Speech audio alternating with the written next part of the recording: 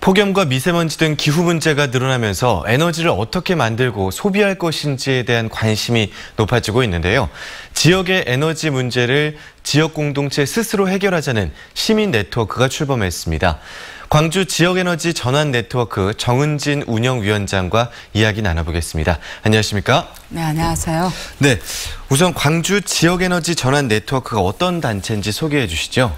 네, 광주 지역에너지전환 네트워크는 줄여서 광주 지전넷이라고 부르는데요. 지난 6월 5일 환경의 날에 출범식을 가졌습니다. 현재 35개 광주 지역 시민단체가 모여서 뜻을 함께 했는데요. 네. 시민단체뿐만 아니라 어, 휴먼시아라든지 네. 마을 단위에서도 그 뜻을 함께 모아주셨습니다. 네. 광주 지전넷은 탈핵과 탈석탄을 기조로 햇빛과 같은 재생 가능한 에너지원을 이용하자. 네. 또 시민이 시행정과 힘을 합쳐서 네. 전력 자립만큼은 어, 이뤄낼 수 있는 기반을 만들어 가자. 이와 음. 같은 목표를 향해서 네. 그 실천의 첫 발걸음을 내디뎠습니다. 네, 그렇군요. 그런데 이렇게 시민단체들이 에너지 계획과 관련된 활동을 하게 된 이유가 어디 있을까요? 네. 어, 우리 에너지 정책의 기본이라고 할 에너지 기본 계획이 네. 그 지난 4일 확정됐는데요. 네. 이번 그 애기본에서도 강조하고 있는 것이 에너지 전환입니다. 음. 석탄 화력 발전은 과감하게 줄이고 핵 발전 시설도 줄여가겠다는 것인데요. 네. 또 특정 지역에 집중되어 있는 대규모 발전의 폐해를 줄이기 위해서 지역 분산형 소규모 발전을 강조하고 있고요. 이는 자치단체별로 에너지 수급 계획을 세워서 실천해야 한다는 의미인데요. 어떤 정책도 시민들의 참여 없이는 성공하기 힘들지만 특히 에너지 문제는 시민들의 적극적인 참여를 필요로 합니다. 음.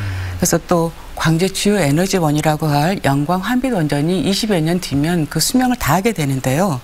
그렇다면 광주의 지역 에너지 문제를 더 이상 미뤄둘 수 없다는 절박한 문제의식을 시민들과 공유하고 네. 그 해법을 함께 찾아가야 할 때라는 점에 이견은 없지 않을까요? 네, 그렇군요.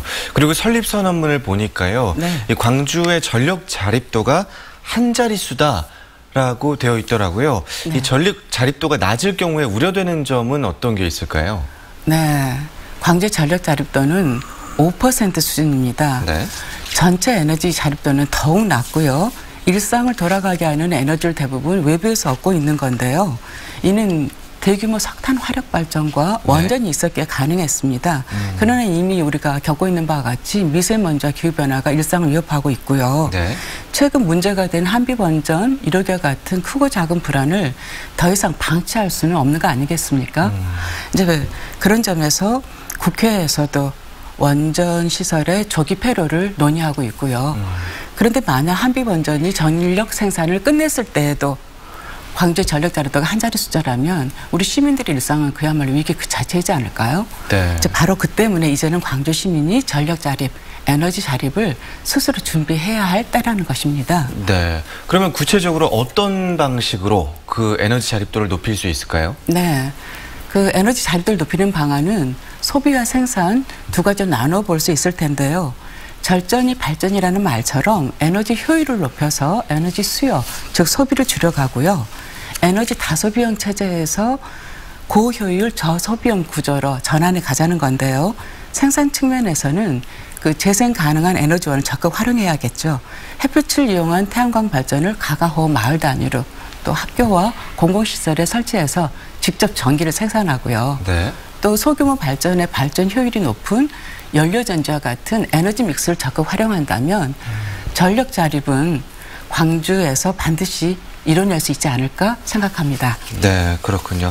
자, 광주 지역에너지 전환 네트워크는 앞으로 어떤 활동을 할 계획인가요? 네, 올해 광주는 제5차 지역에너지 계획을 만드는데요.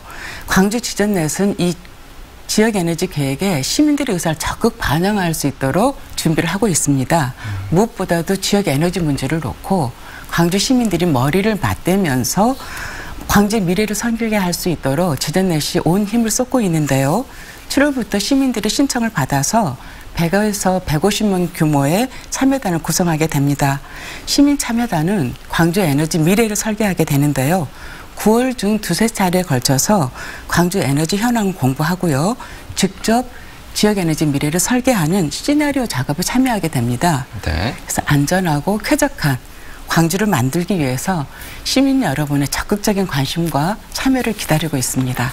네, 알겠습니다. 광주 지역 에너지 전환 네트워크 정은진 운영위원장과 이야기 나눴습니다. 오늘 말씀 고맙습니다. 네, 감사합니다.